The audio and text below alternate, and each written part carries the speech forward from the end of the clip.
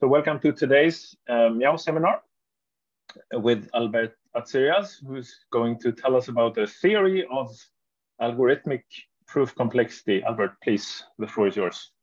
Thank you very much, Jakob. Uh, thanks for the invitation, and it is a great pleasure to, to be virtually in Scandinavia. I don't know if I should say Copenhagen or Lund, or I don't know where exactly, or somewhere in the middle. In any case, virtually there. And it's also very nice to see so many familiar faces, and uh, thank you very much for coming. So some of you may recognize the title from another talk I gave. In fact, this is a version of a talk I gave in ICALP in Paris earlier this year. And it's basically a survey talk uh, where I try to explain my view of proof complexity. And while I explain this view of proof complexity, I will see that it has evolved a little bit into some trying to understand algorithms from two senses. In one sense, proof complexity has been used to analyze some algorithms and some heuristics, and I will discuss a little bit of that. But then I claim I can also use proof complexity to give some algorithmic insights, and we'll get into that towards the end of the talk, hopefully. Okay, so let's get started then uh, with the history of uh, proof complexity, and we're going back uh, to many years to the 20th century. And here we see two giants. On the left is uh, Kurt Gödel, on the right is von Neumann. And it's well known the story is that von Neumann was sick uh, at home, and Gödel wrote this letter to his friend and colleague at the time.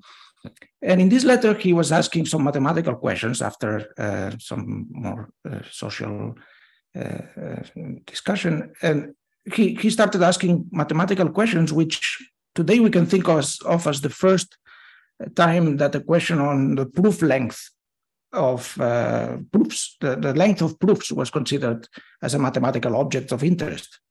So here you can see it's highlighted. He was asking about the question whether one can decide if there is a proof of a formula F in predicate logic, in this case, of length n. And he was thinking of length as the number of symbols.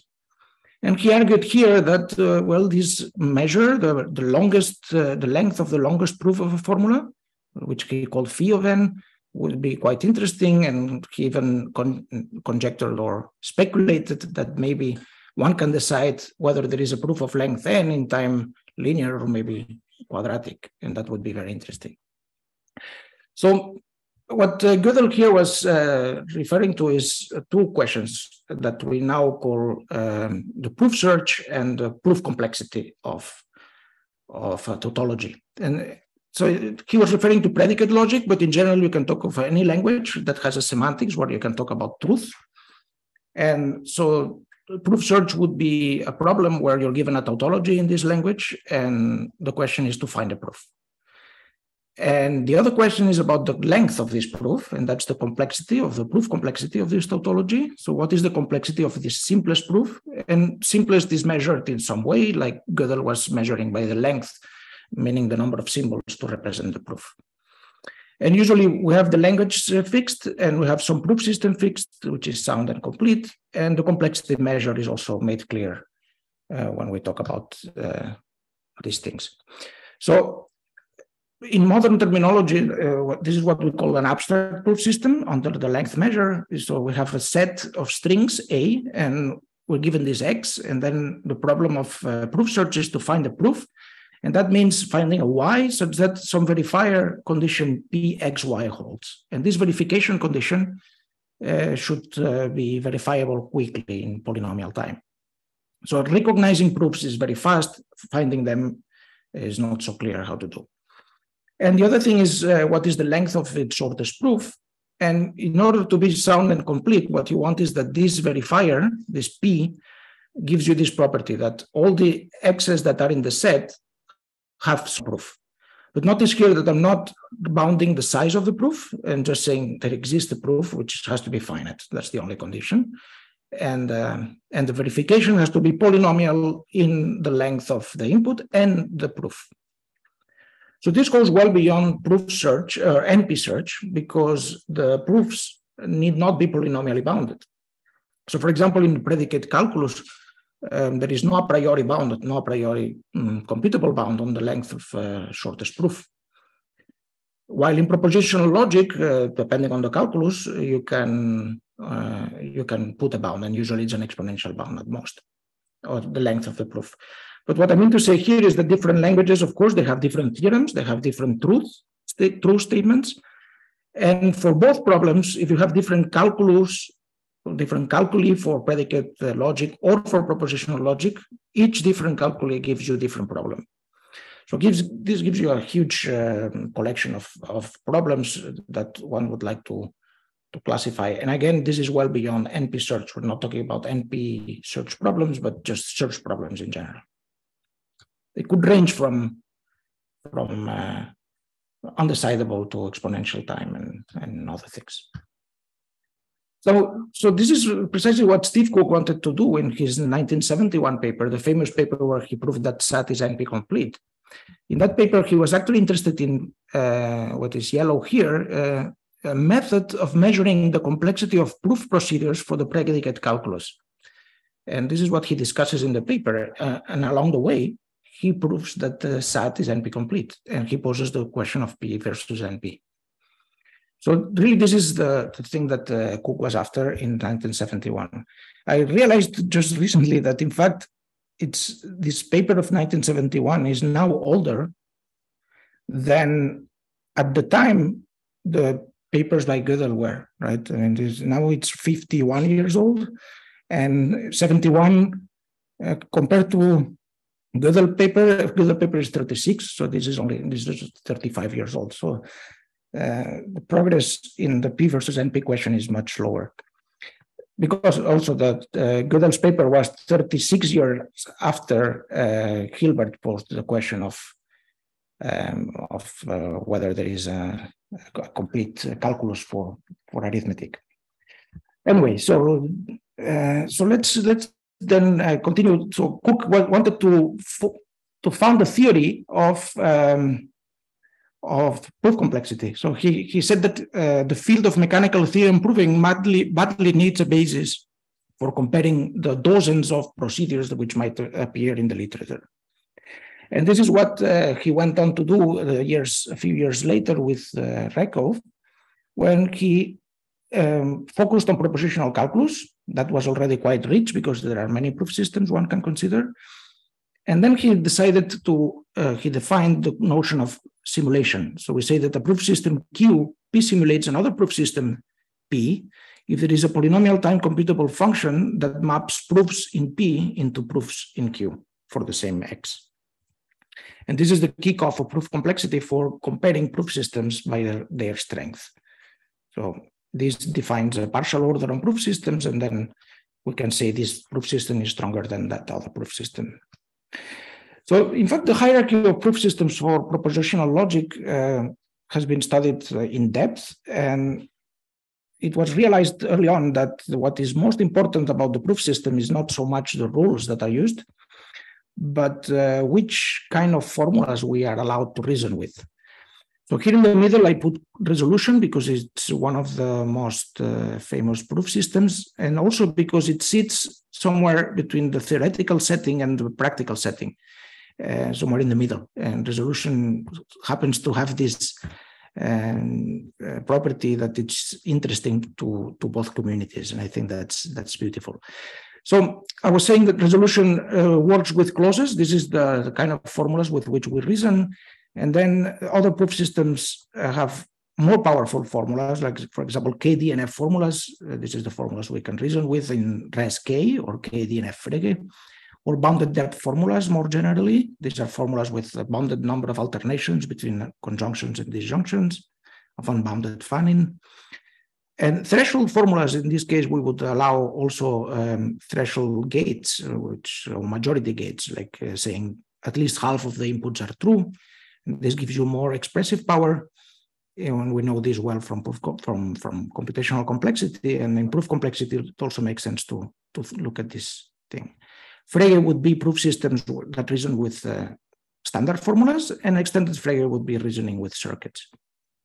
Now, if we go below resolution, there it doesn't make much sense to restrict clauses any further. So what we do instead of restricting clauses is restricting the proof graph.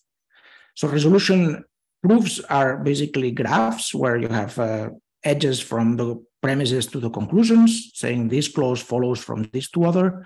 And then you can say this graph takes a certain shape. And for example, a tree, if this graph is a tree, the proof is a tree, then we say it's a tree-like resolution proof. Regular resolutions would be the case where the graph is read once in a certain sense that I will define later. So just to make sure resolution, what is the proof system? We have these clauses, C or X and D or not X. These are clauses that have several literals, but they have one clashing literal, X and not X. So in this case, from these two premises, we can infer the resolvent just by cutting out the clashing literal. And of course, it's sound because X has to be either true or false. Now, as I said, uh, we have these proofs that we can see as graphs. So technically a proof, you have a set of hypotheses. These are the clauses of your formula, and you keep inferring new clauses. For example, clause DL follows from clauses DJ and DK. These are the left and right premises, and this determines the structure of the proof graph. And every single clause is either of this form or is one of the hypotheses. And in the end, we have the empty clause, meaning that uh, we are producing a contradiction. Therefore, we have refuted or we have proved the unsatisfiability of F. Another proof length uh, of is in the case of resolution, that's what we denote by S DAG. And we call it DAG because this graph is in general acyclic. But other than that, there is no other condition. So it's a directed acyclic graph. But when we restrict the graph to be a tree, then we denote it by S3. So that's the length of the shortest resolution tree-like resolution refutation of F.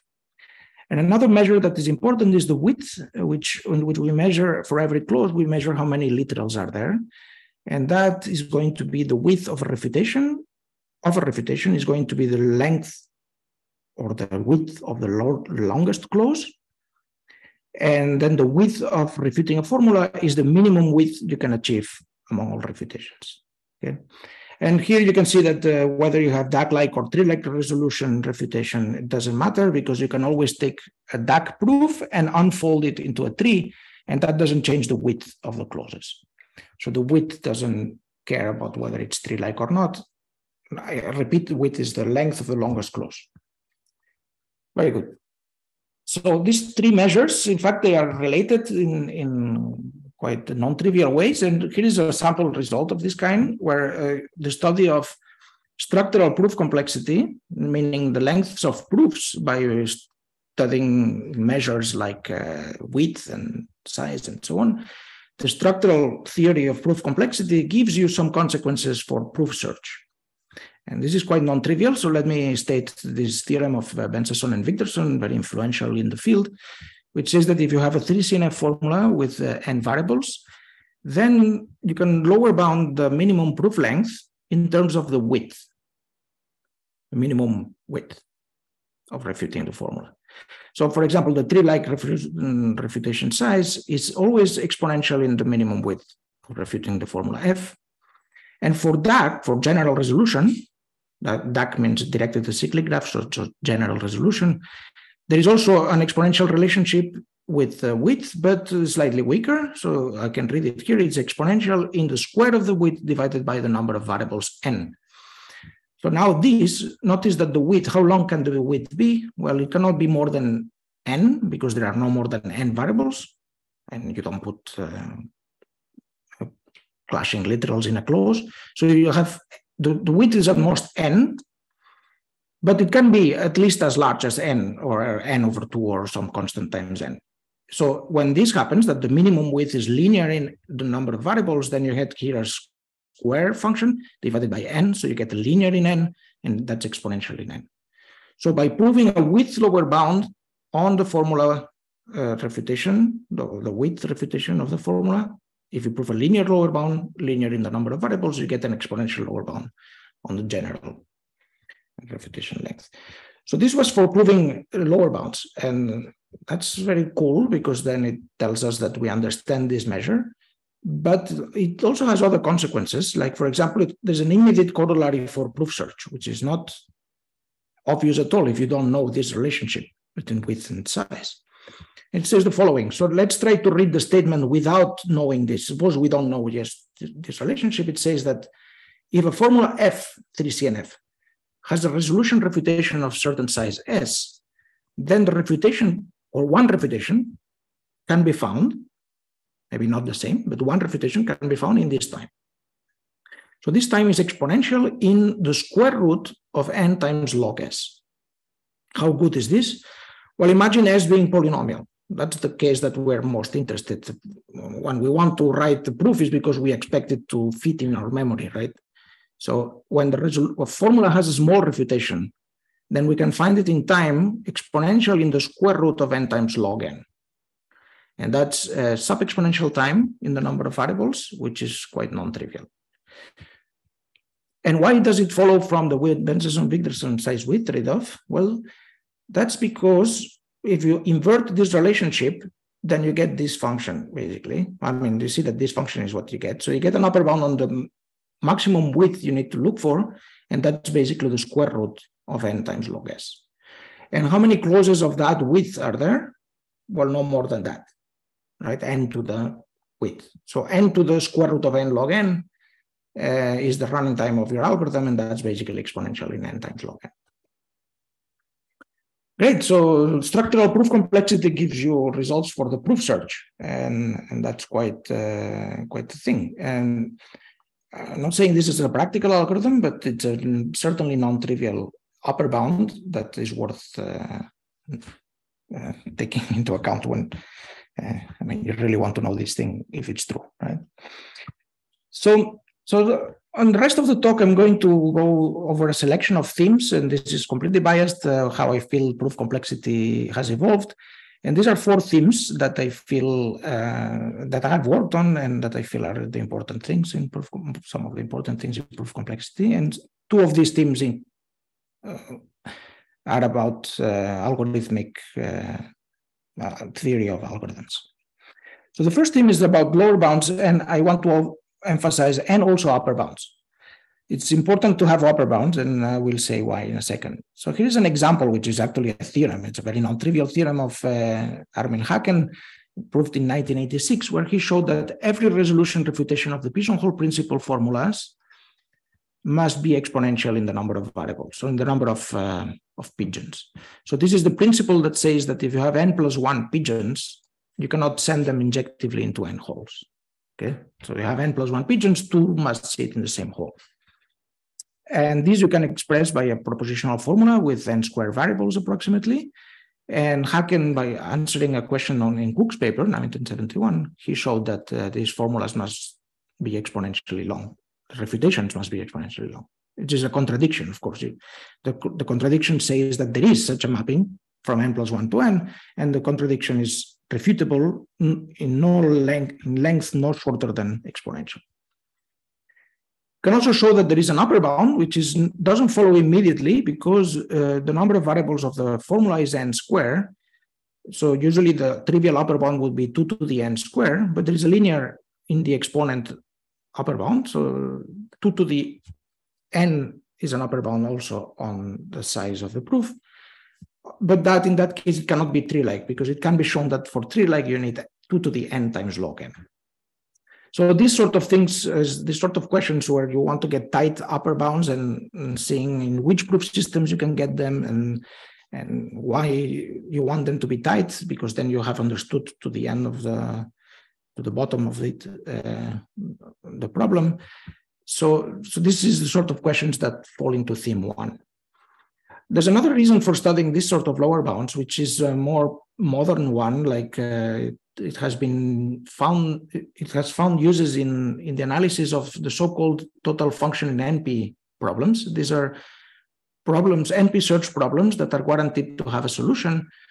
And famous examples of this type are, you know, given a game, find a Nash equilibrium, which is always guaranteed to exist by Nash theorem. And but also, for example, the pigeonhole principle is one of those, right? If you have a map given given circuit that maps uh, n plus one inputs, Boolean inputs to n outputs, then yeah, there have two to the n possible inputs and only two to the n plus one possible inputs and only two to the n outputs. So there must be two inputs that that collide. So this is one of these TFNP classes. And this sort of lower bounds for the proof complexity of resolution give uh, lower bounds in the black box model of TFNP classes. And this is a very simple example here, but uh, there are more sophisticated examples where you want to compare TFNP classes one with another. And then the methods of proof complexity for separating proof systems um, and saying this proof system, assuming this axiom cannot prove this other axiom, uh, this sort of uh, lower bounds has been useful for classifying the black box complexity of, of FNP classes. So these are this is a classical theme, and I insist upper bounds are important because they're important, for example, in theme two. So theme two is the proof search or the automatability of, of proof systems.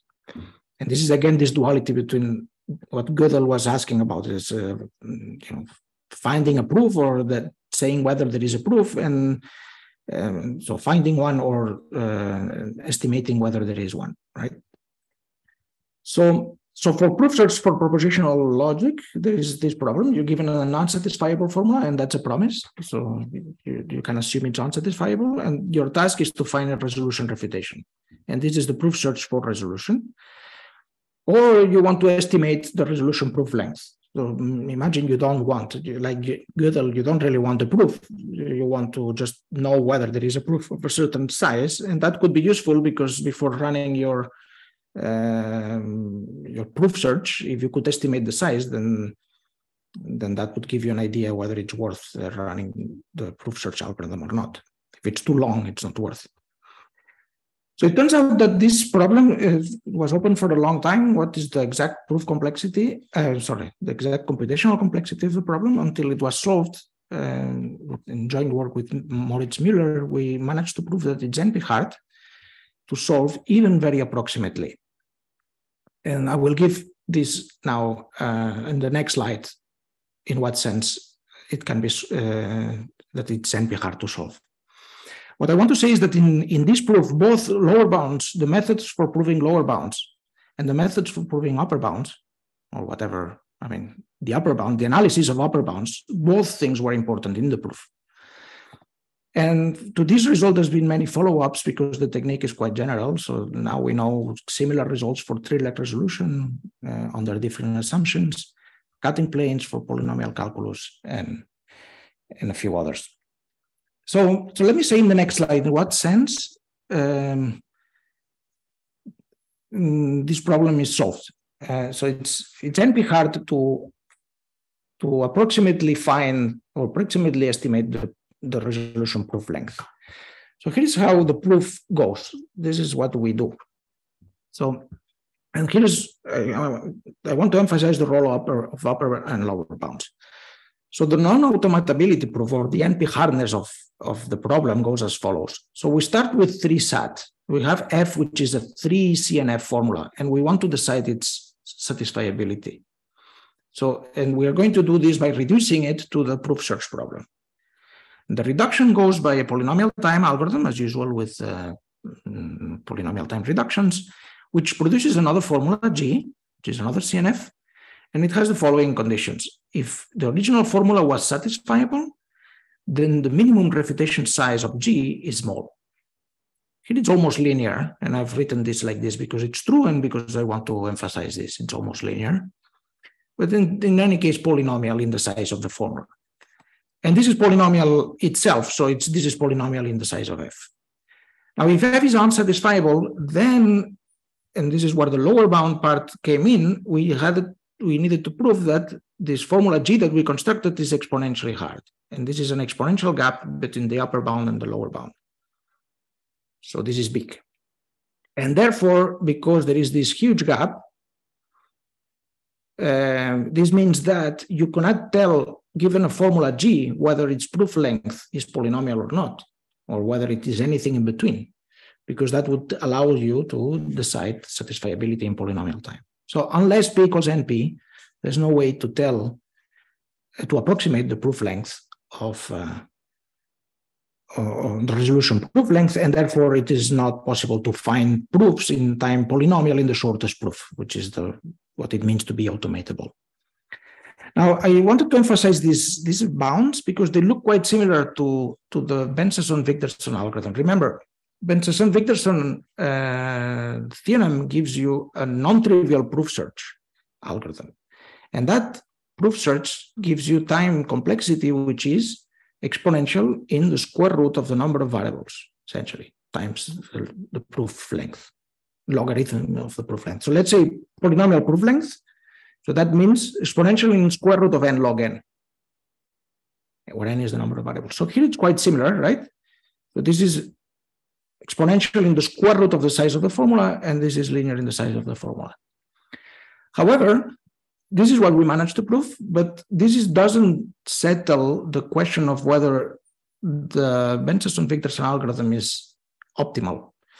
The reason is that this is measured in terms of the proof size uh, of the formula size and not in the number of variables. And, and what happens here is that this polynomial time reduction produces a formula that is polynomial in f, but it's not linear in f. So this, and, and you would need G to be almost linear or something like that. And so this is remains open from, from this work. And in fact, I believe it could be approachable by getting more, I mean, optimizing this reduction and getting better better parameters in this formula G. And that would be quite nice because it would show that the Ben-Sasson-Wigderson algorithm is actually optimal. So this is one open problem that is left in this field, which is the theme two. I'm going back to the slide, theme two, proof search and automatability. So Albert? Uh, yes? Just to clarify, so you're asking for the these bounds to be like tighter in, in terms of the number of variables in the original formula F, is that right? That's, ex that's exactly right. It would be great if G had a linear number of variables in F, in the number of variables of F, and also a linear number of clauses. And very often this can be achieved by doing encoding tricks that are better than what we did, like uh, using binary encoding for pointers, uh, using expanders uh, for certain complete graphs that we use in our formula. So it might be doable but uh, I have to admit, I mean, I tried, but uh, didn't get too far. I also moved to other things. So, okay, thanks for the question. Theme three. Uh, so this we start now with algorithms. So one theme that uh, came uh, quite uh, late. I mean, not late. I think the, the results here started in the early 2000s which was in the application of uh, proof complexity to the analysis of heuristics. And here I want to give some examples. So one thing is the analysis of the average case complexity of certain problems. For example, on Erdős-Renyi random graphs or on random formulas, random three-SAT formulas. Uh, also for approximation algorithms and for heuristic analysis in, for example, algorithms like SAT solving, where you know uh, the SAT solvers, these are algorithms that uh, decide whether a formula is satisfiable or uh, find a refutation in resolution of its unsatisfi- proof of unsatisfiability. And these algorithms are very efficient, but they are based on heuristics that nobody really fully understands why they are so successful. So it would be nice to apply the methods of proof complexity to analyze the heuristics and to, to be able to classify and say, okay, this heuristic is theoretically superior to this other because of this and that. Okay, so let me, uh, I won't go too much uh, into the heuristic analysis for SAT solving, but I'll discuss a little bit this average case complexity. Uh, before I go there, I'll talk about another theme that I find very interesting and that is related to this, which is the theme of uh, algebraic and semi-algebraic proof systems. So basically, uh, we have been talking so far about propositional proof systems, and this is still talking about propositional proof systems in the sense that they are proof systems for propositional logic. The difference is that now the formulas we reason with are no longer propositional formulas themselves, but they are polynomials over some field or some ring. So here is um, the setup. So we're still thinking of propositional formulas, but now we encode uh, clauses by polynomials. So for example, the variables, first of all, we, we put them in pairs, a variable and its uh, twin variables, I call it, x and x prime, which stand for complementary variables, x and not x. And this now they range over some field, reals, rationals, integers. integers is a ring, not a field, but uh, some ring. And now you constrain the variables by requiring them to take values zero and one. And so this means you put these as axioms, x squared minus x equals zero. Um, they are only satisfied by zero and one. But you put this axiom as a syntactical equation. And also you require that x prime is the dual or the complementary uh, value of x. So x plus x prime minus one is equal to zero. And other clauses like x or y or not z become polynomial constraints, where in this case, the way we are encoding this is by x prime times y prime times z equals zero. So let's see if the clause is true, it means that one of the literals is true, and that means that one of the complementary literals is zero. That's exactly when this equation is, is, uh, is satisfied, is made zero. Okay, so now we're representing the clauses as uh, polynomials, and now the inferences uh, the inference rule are going to be polynomial identities over this ring or field. And these are the case of algebraic proofs. Polynomial calculus, you may have heard as a word, that's an algebraic proof system. Semi-algebraic proof systems, these are um, proof systems that work where the field is the reals and we work with inequalities. So now an equality between two polynomials, P and Q, you see that there's two inequalities, P minus Q is non-negative and Q minus Q is non-negative. and you want to infer new inequalities from old ones. And for example, we can allow, and this is this defines different proof systems, we can allow, for example, arbitrary monomial inequalities as axioms. And why is that? Well, because our variables are still restricted to be zero, one. So a monomial, a product of monomial uh, of variables that are zero, one is definitely always non-negative. So you can allow arbitrary monomials as axioms, or even arbitrary squares of polynomials of any type uh, p squared, you allow this as an axiom. And this gives you different proof system depending on what you allow. So for example, here are two proof systems. Sum of squares proof system that you may have heard. Another one that I'm making up the name is sum of monomials proof systems. So what's the difference? Well, in both cases, the inference is going to be a polynomial identity. So we have a CNF formula with these clauses, C1 to Cm, and these variables, x1 to xn.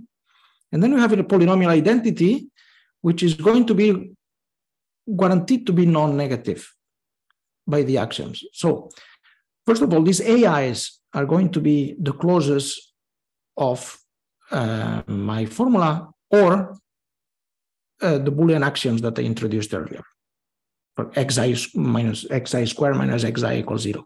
That's a Boolean axiom. So you, any axiom of that type is allowed. Any clause encoded as a polynomial is allowed here.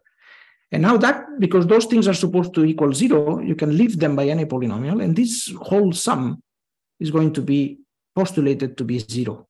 So you can allow it in your polynomial identity, and whatever is on the right is going to be non-negative if this is non-negative.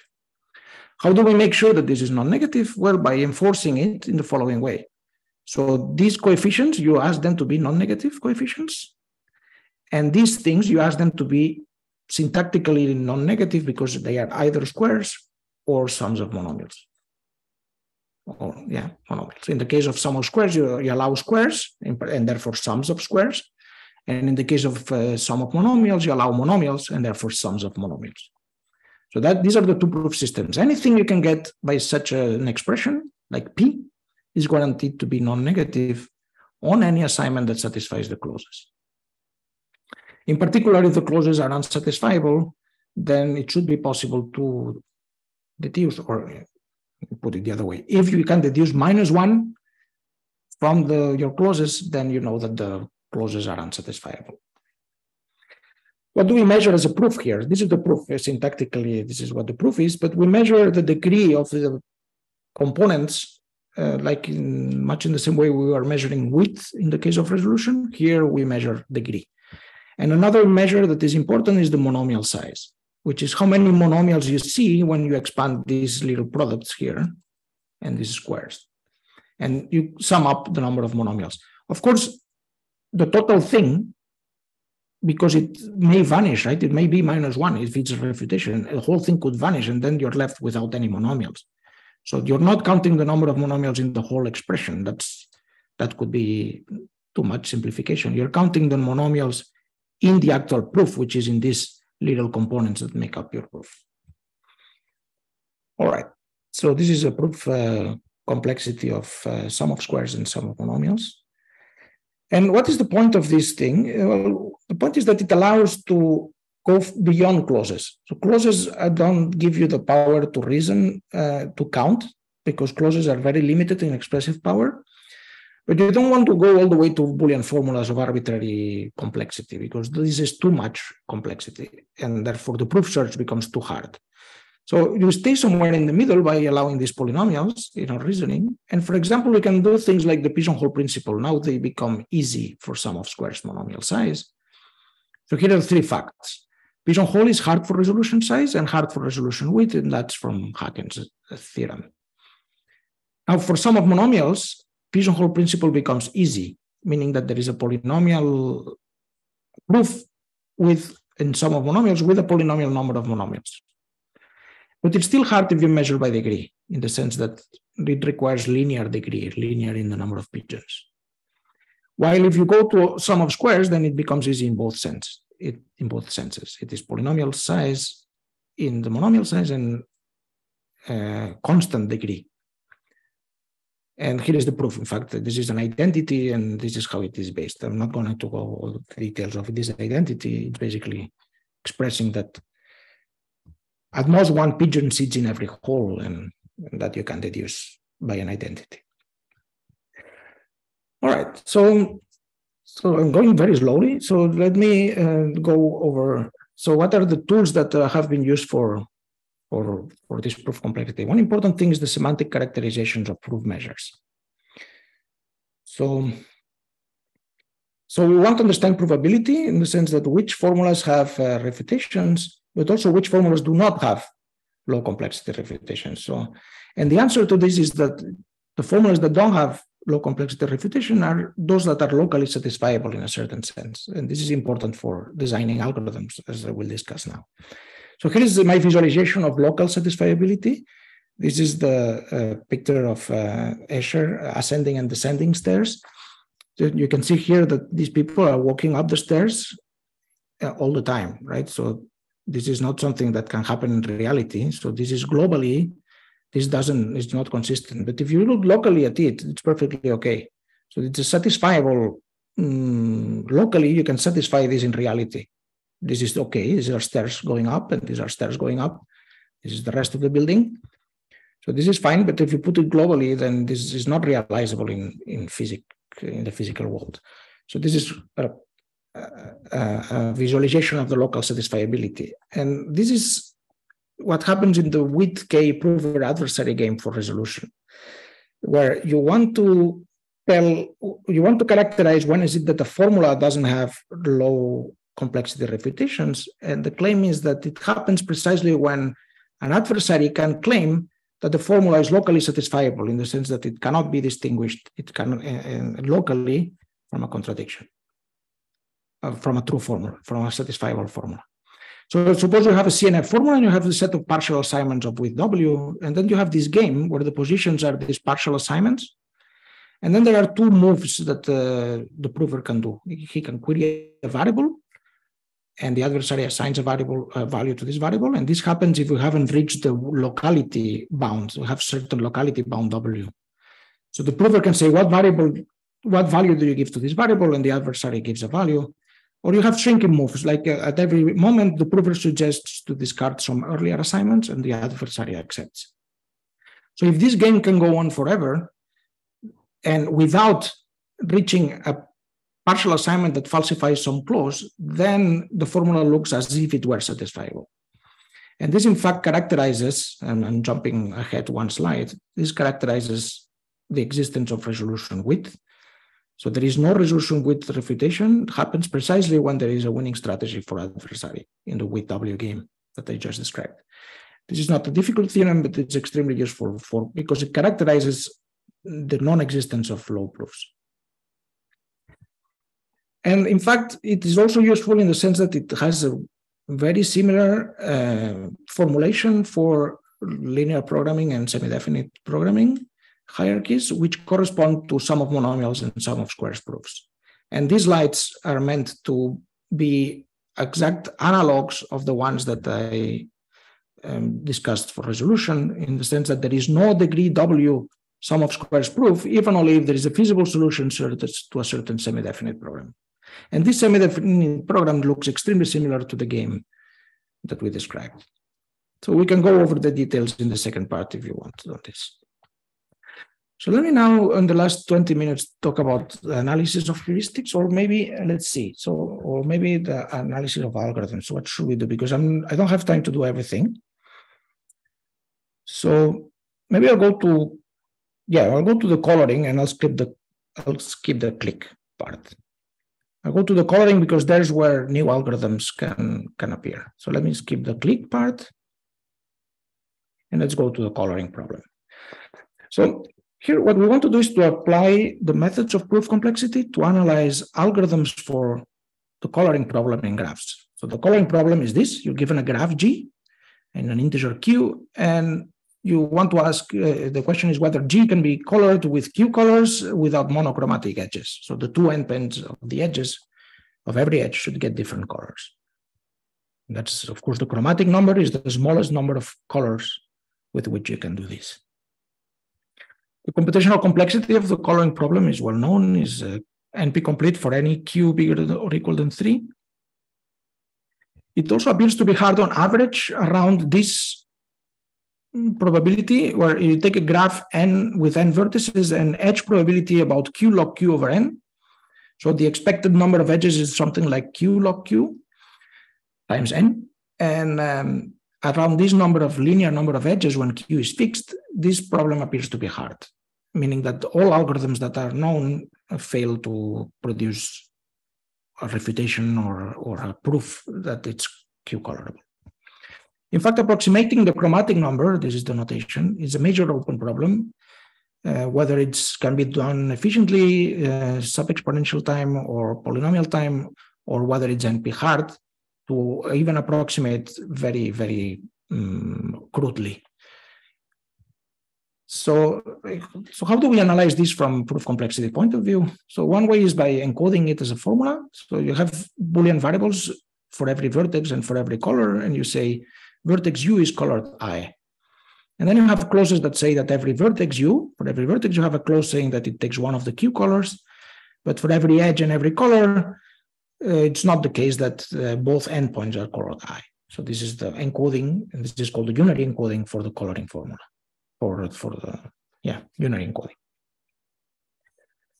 So the resolution complexity was studied uh, for, for the coloring formulas in uh, early 2000s. Mm, and here is uh, the question was asked is what is the worst case average case resolution complexity of these formulas? And the motivation for it is what resolution happens to be powerful enough to simulate many backtracking algorithms. And they give an example, and this is beautiful. And a beautiful example, I want to go over it. This is the so-called McDiarmid calculus, which is a way to produce all non-Q colorable graphs. So for now, think of it as a proof search, as a proof, uh, as, a, as a proof system, and but you can think of it as a backtracking algorithm. So you want to produce all non-Q colorable graphs. And the axioms are, of course, the Q plus one cliques are not Q colorable, right? So you take this as axioms. I mean, there's there's no doubt those are not Q colorable. So you are always allowed to introduce a K plus, Q plus one clique. Now there are two inference rules. One says that if uh, a graph G is a subgraph of another graph H, and G has been derived as non-Q colorable, then of course H is not Q colorable, so you can derive it. That's your first inference rule, subgraph inference rule. Second inference rule is a bit more clever. It says that if you have a non-edge of H, and by adding this edge, you get a graph that is already non-Q colorable, and you have uh, derived that, then when you identify the two endpoints of this non-edge, the graph that you get if that is also derived, that is also non-Q colorable, then H itself is not Q colorable. And if you think of this is in fact a resolution step in, in the sense because, well, if H were Q colorable, then um, either uh, the two endpoints, uh, this UV would get uh, the same color or different colors. If they get different colors, then this one would also be Q colorable. And if you get different color, uh, equal colors, then this one would be Q colorable. So there is a case analysis on whether they get the same color or different color in a supposed Q coloring of H, which doesn't exist. So the soundness is basically this case analysis. And so what they proved in this 2005 paper is that the non-Q colorability of a graph has a tree-like McDiarmid proof in this proof system I just described. If and only if, no, sorry, if this happens, it's not even only if, if this happens, then the formula has a refutation of small width. Q, remember, we think of it as a constant, so the width is something like logarithm in the proof size. And as a consequence of this, they got exponential lower bounds on random graphs around you know, for a linear number of edges uh, on the width and on the size.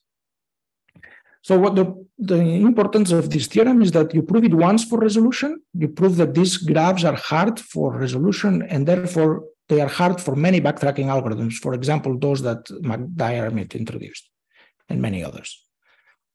So it's a meta theorem in the sense that it gives you proof complexity for many other, um, lower bounds for many other algorithms. But it also gives you understanding of, of the problem. So, for example, uh, so what can I say here? Uh, because I mean, this makes more sense if I had done the clique part, uh, because I haven't done the clique part. So, well, how much time do I have? I have five minutes. So I think I should skip this. I think you're in charge of the exact time planning, Albert. So, you know, if you want five minutes extra, you have it. And whoever doesn't want to join can just zoom out. So it's like, you know. Yeah, okay. So so let me do one thing. I'll try to get to the algorithm that I want to discuss. And if I if and then we'll go back to the here if we if we want also. So yeah, so I skipped that those two slides because now I want to talk about the problem of approximate chromatic number and and to discuss a new algorithm that uh, we found recently. It's it's I mean it's not solving the problem, but it's giving something. So approximate chromatic number. So you have two integers, P and Q, and you want to have this problem. Given a P colorable graph, you want to find a Q coloring. Think of Q as being a lot bigger, for example.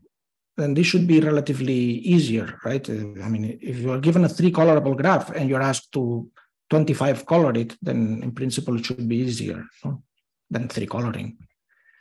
So this is a promise problem because there is a promise and that the graph is p colorable, but you're only required to produce a q coloring. Q could be bigger. Now, as a decision problem, this is kind of equivalent, so to speak, or at least um, no harder. So you're given a graph G, and it's promised to be either p colorable or not even q colorable. So there is this gap. There's a there's a gap in the promise. So you're required to tell which is the case. So if the graph is p-colorable, you're supposed to say yes. If the graph is not even q-colorable, you're supposed to say no. So you want to distinguish graphs that are colorable with very few colors from graphs that require many colors. Now this problem is very famous, like uh, the three versus three. It means distinguishing three colorable from non-three colorable graphs. This is NP-complete, well known. It's also NP complete to distinguish three colorable graphs from graphs that are not, not even four colorable. But that is already very non-trivial. It requires PCP machinery. It was done in the early 2000s. Now, if you want to distinguish three versus five, so now it gets easier and easier to solve the problem, but it's still NP complete. But this requires, besides the PCP theorem and the PCP machinery, it requires also universal algebra. And it was proved only very recently that it's NP complete. It's quite it's getting harder and harder to, to get hardness results. Now, 3 versus 6 or 3 versus Q for Q larger, it's not known whether it's NP complete. It, it is known to be NP complete, assuming the D21 conjecture, uh, which is a version of the unique games conjecture that I'm not going to discuss. It's not clear whether to believe this conjecture or not, but definitely it gives some uh, insight or, on, on, on, this problem, but it doesn't completely solve yet its NP completeness. But D21 would be stronger than unique games in terms of like in terms of conjecture strength, or it's incomparable? Yes. It's stronger. It's stronger. It's stronger. It's more likely to be false. Um, okay, and there's no consensus. Now, if you want to find the first case that is polynomial, that you can distinguish three colorable graphs from q colorable graphs, then you need to go to an unbounded number of colors. So the first one was this famous Wigderson algorithm of 1983, where he, in polynomial time, distinguished graphs that are three colorable from graphs that are not even square root of n colorable. n is the number of vertices. So there's a huge gap between the NP completeness and the polynomial time case. Now, this one half here has been improved several times. Uh, it's getting better and better. And, and, the last or the current record is something below one fifth, so 0.199. But it's still some polynomial function of m. Okay, so what can we say here? So I want to discuss Wigderson's algorithm and see it as a width-based algorithm. And this is very straightforward and easy, but uh, it had not been observed before. And it has some consequence. So, so let me discuss Wigderson's algorithm. In fact, this is a stronger version of Wigderson's algorithm, and this is a starting point. So what we're going to show is that, or argue, is that if the graph, it's, I mean, you don't need it to be three colorable. If it's not refutable in width three, its three colorability is not refutable in width three, constant width, then we can conclude that it's already square root of n colorable. So the lack of refutations gives you a non-trivial structural result. Okay. And, and that is already enough to distinguish uh, three colorable graphs from graphs that are not square root of n colorable. Right? Because if it's three colorable, then it's definitely not refutable. It's color it's, it's three colorable, then uh, that's the promise then then it's called three colorability is not refutable in any width, right? But want the three colorability. Of course, that would be a trivial statement. If it's three colorable, then of course it's square root of n colorable. But this is not a trivial statement. It's saying that if it's if it's three colorability is not refutable in width three, then it's already square root of n color. Okay, so how do we do this? Well, this is basically uh, the analysis of Wigderson it goes as follows. So, uh, well, we want this is what we want to prove. If it's not the three colorability is not refutable in width three, then we have two cases. So either every vertex has a small degree, and in that case we can argue that it's square root of n colorable by coloring greedily. Notice that I'm not saying. I mean, this is a polynomial time procedure, but um, it doesn't have to. I mean, just want to argue that it's square root of n colorable, and it definitely is if all the degrees are small. Now, what happens if you have some vertex of large degree? Well, in that case, I claim that the vertex and its neighborhood is three colorable. Um, notice that this is not in the hypothesis. The hypothesis says that three that the refutation of three colorability cannot be done with three. So, but I'm claiming that this graph is three colorable. So why is that? Well, suppose this graph is not three colorable, then the neighborhood alone would not be two colorable because you would color the neighborhood and then add one more color for the center. Yes? So if it's not three colorable, then the neighborhood is not two colorable. But the non-two colorability is refutable in width two because this is a two-sat formula. You have only two colors. And if you have two colors, then the clause that says that every vertex gets one color has width two. So this is a two-sat, two-CNF formula, and therefore the non-two colorability is the, the two colorability is refutable in width two. But then when you add back the vertex u, then you can refute it in width three, because basically you can add, I mean, this is what this adding this vertex means adding this clause and then you can resolve this clause with all the uh, clauses that say that the neighbors get one of three colors, but uh, one of them will be uh, removed. It's a case analysis on what are what is the color on you. It's one of three, and whatever uh, color it is, the neighborhoods uh, have this vertex uh, forbidden, and therefore you can reduce the width two refutation of the neighborhood to get a width three refutation of what you want. Um, but then if a subgraph of the original graph is refutable in width 3, then the whole graph is refutable in width 3. And that's against our hypothesis. So the claim, therefore, is that it is three colorable. Sorry, now, question. Yeah. Where are you using the fact that uh, this, I mean, the square root of n? I don't see in the argument where it's. Used. Yeah, so here it is. So here, now what I'm going to do is, this is only a part of the graph.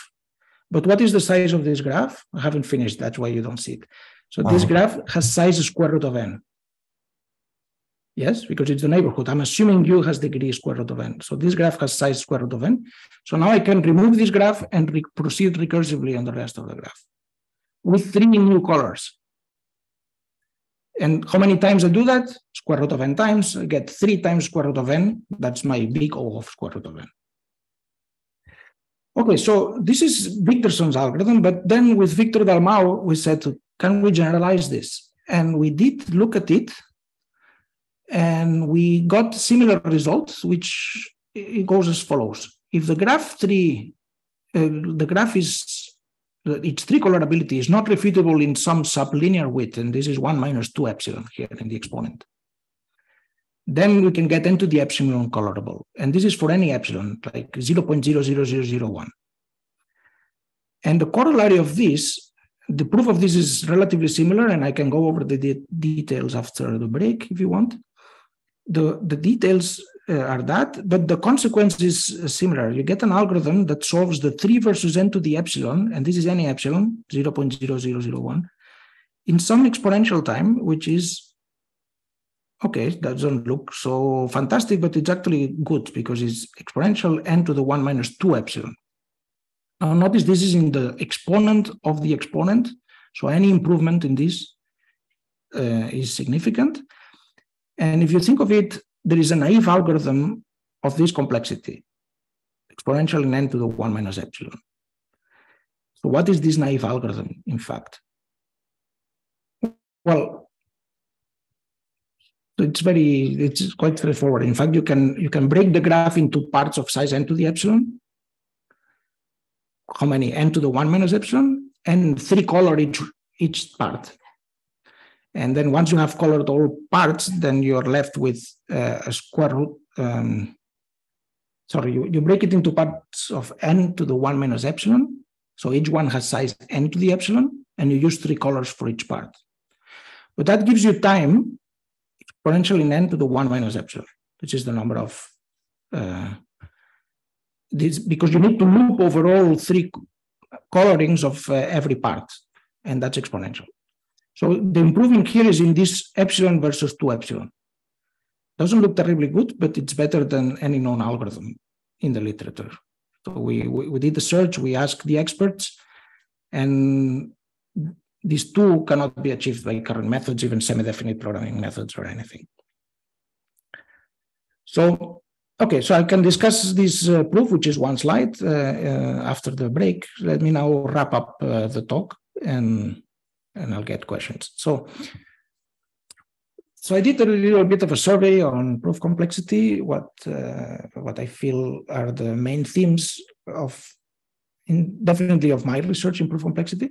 So here are some things we talked about lower and upper bounds, and I think upper bounds are important um, because they match the lower bounds and therefore tell us that we we got exactly where we were, and we needed this for the proof search and the non-automatability results. We needed the upper bound. There is some open problems there uh, to match the Ben-Sasson-Wigderson algorithm. We also talked about that. We discussed a bit of analysis of heuristics. We skipped the clique part, but uh, uh, we discussed a bit of uh, coloring. And the algebraic and semi-algebraic proof systems I had to, to, to skip uh, from this analysis. There are many other themes, like uh, the theme of optimal proof systems, uh, meta complexity, which is what does it take to prove a lower bound? What is the proof complexity of the statement that you have a proof complexity lower bound? And all these things I had to skip. So some of the problems is like, uh, well, the clique I didn't discuss, so, so I'm not saying here. For coloring formulas, it turns out that the, the, the degree complexity for density q square over n is open.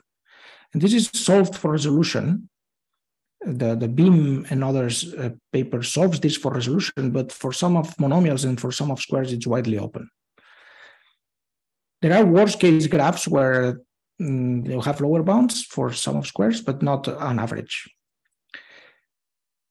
And also, yeah, I didn't get to discuss the explicit abstractions, but one thing that uh, is important in this theory is that the encodings are not irrelevant. Um, usually we think that the encoding doesn't matter, but in fact, I think it, they do matter. And at least to me, it's not obvious that you can translate results from, for example, things you can get from Lovász theta, the analysis of Lovász theta function, uh, how you translate them directly into proof complexity when you encode your formulas as CNFs. It's not completely clear to me that it can be done, or at least a better theory of encodings would be important here. And I think uh, that's something for future work.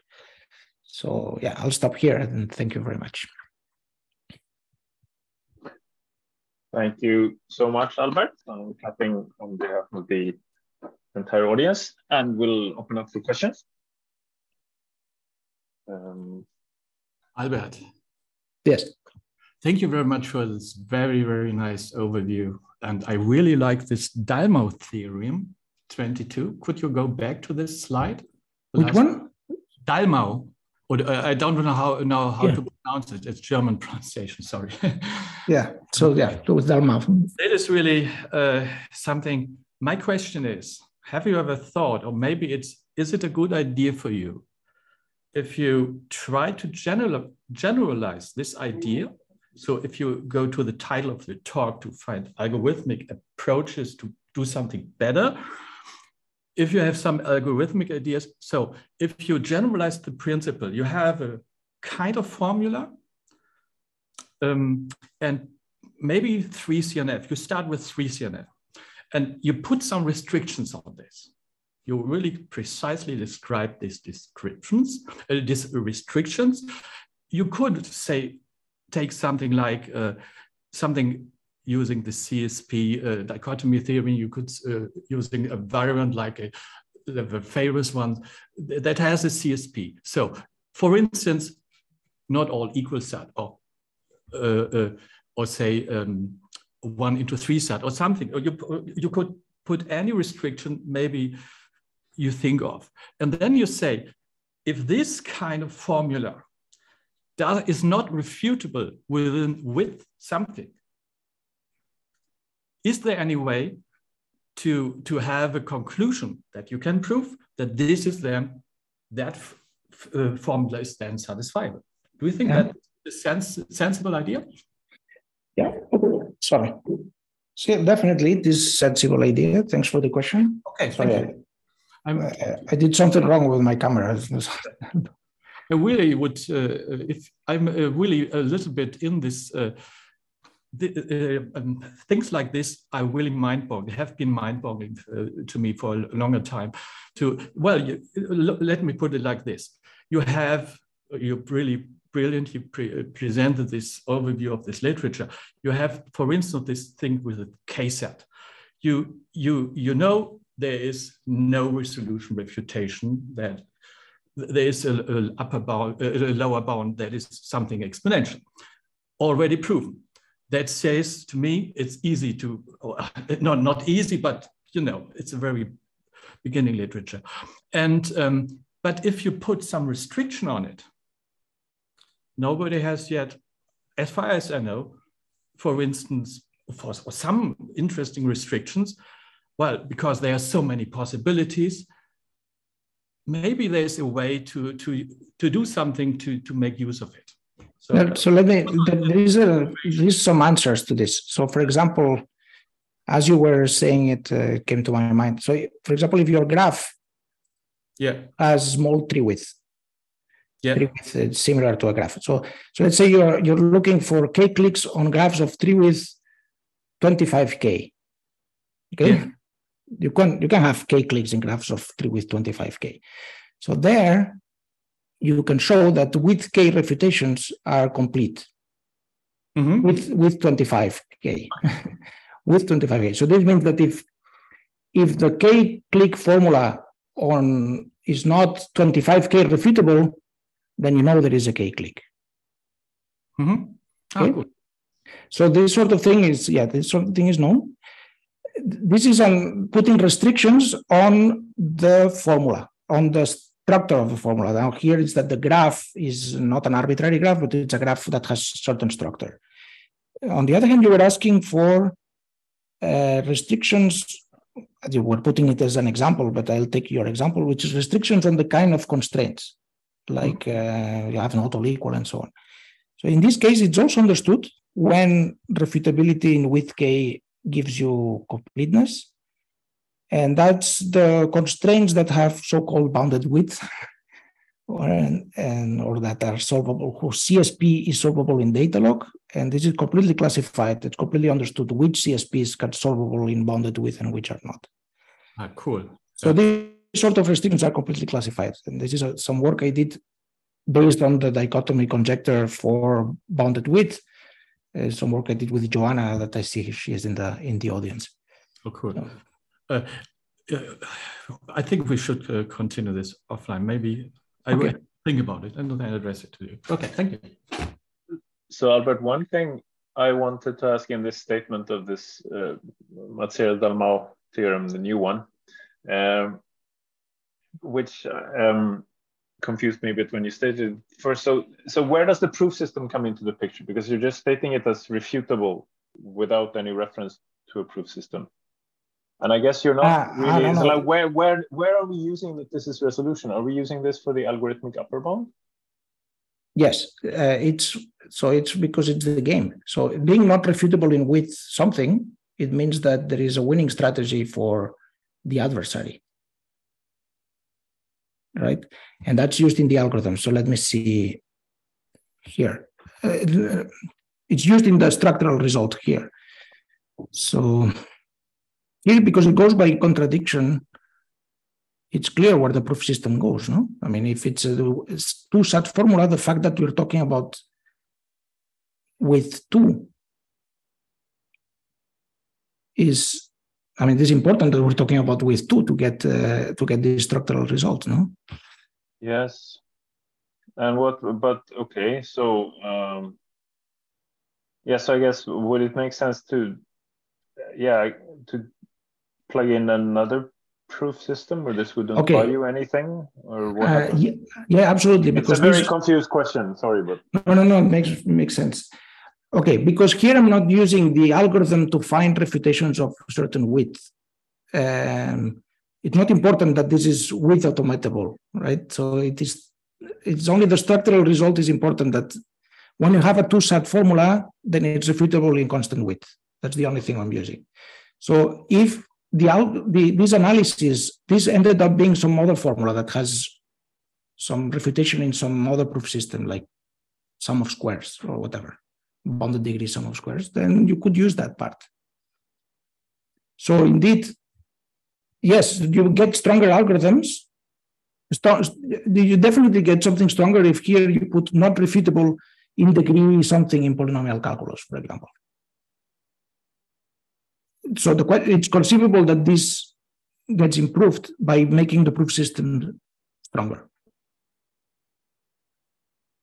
Does it make sense? Um, yes, that's what I was thinking, but for some reason, maybe it's Friday afternoon. But I, I like I don't exactly see how how how this would propagate to give a strong result. But maybe I just need to think about it offline. Well, no, I don't know. Uh, let me see. The the automatability, the the width automatability, I'm using it to get the algorithm right because this is only a structural result. But in the end, if you want to get an algorithm, you need to be able to decide whether this condition holds or not. Mm-hmm. Yes. Yes, exactly. Because how would you do it? If it um, if it doesn't hold, if the condition doesn't hold, then uh, then of course it's not recoverable because if it's refutable, then it's not recoverable. And if it holds, then by this structural result, you know that it's square root of n colorable. So, so the algorithm requires checking this condition. And therefore, you do need a proof system for which um, checking the condition is feasible.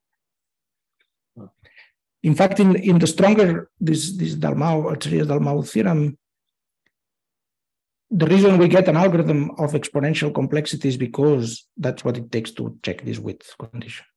Uh-huh. But the point is that it's better than the trivial thing. Uh-huh.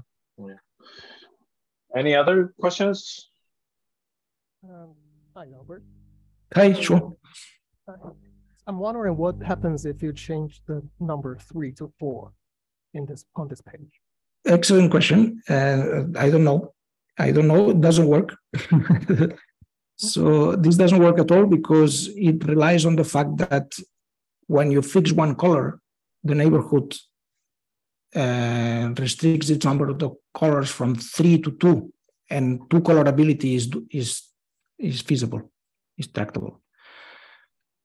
So if you have four, then uh, you're reducing from four to three, and then you are in the hard case. So the answer is that I don't know.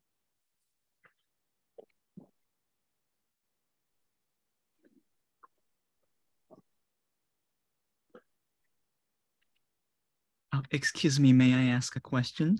Of course. Thank you very much. Um, I'm wondering the weakness of the hypothesis of those Dalmau's results and uh, Wigderson's uh, algorithm with width-based algorithm. Um, is there any interesting class of graphs which is not three-colorable but uh, has no refutation in small depth uh, widths? Uh, is there any concrete examples? Um, so which one should we think of? Um, yeah, so this one, yeah, this is fine. So you want a class of graphs that is not three colorable, eh, but also not refutable in small width. Yes, as that is, for example, solved by this Beame result that I mentioned somewhere, like here. Here it is. So if you take a random graph with edge probability one over n, let's say q equals 3, mm -hmm. then the width is linear in n mm-hmm. like more than one totem. So this class of graphs is an example. And you can also find explicit such graphs. Ah, I see. Oh, thank you very much. I got it. You're welcome. So uh, thank you so much again, Albert, for this presentation. I think maybe we'll uh, end the at least online questions here. So thank you again.